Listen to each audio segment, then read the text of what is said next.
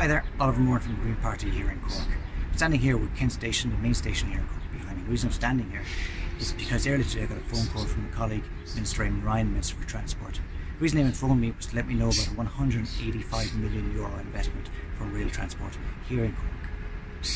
That's, these are going to be primarily engineering works, but what they're going to do is they're going to lay the foundation for a metropolitan commuter network running from Mallow through the city centre and on to Midleton and Cobh.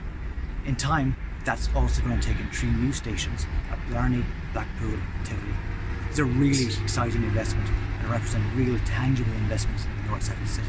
In the wider picture, the part of the reimagining of Curtain Street and also about a sustainable transport links between the city centre, Glanmire, and onto Little Island and Carrick through the which are also.